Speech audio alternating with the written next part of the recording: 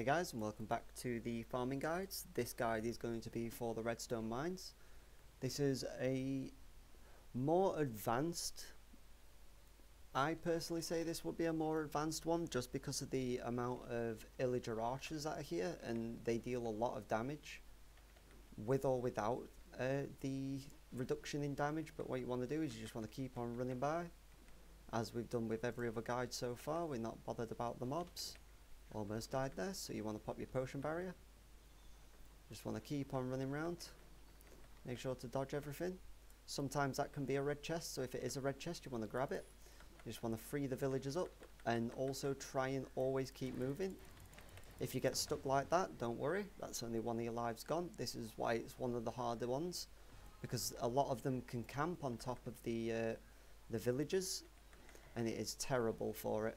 So you just want to grab your villagers hopefully you're not on computer so it doesn't do stuff like that. You want to just keep on running down. The redstone golem you could take him out. You can bait him over here if you like and then take him out over here. Instead of trying to take him out with everything else. But I might end up losing a life again. There we go.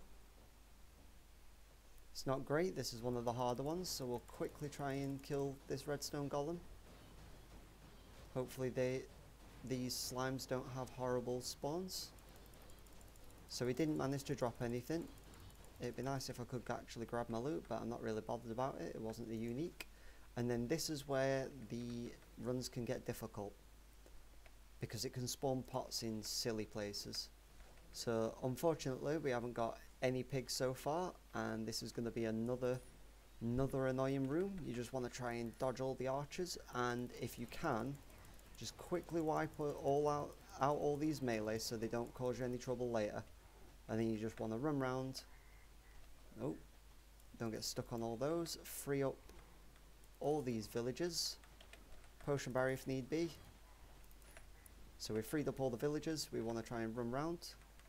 There's lots of items to get stuck on in here and it's really annoying. You just want to keep on running around, hitting enemies, and grabbing that move speed. That might be a red chest, unfortunately it's not. So we'll just keep on running around.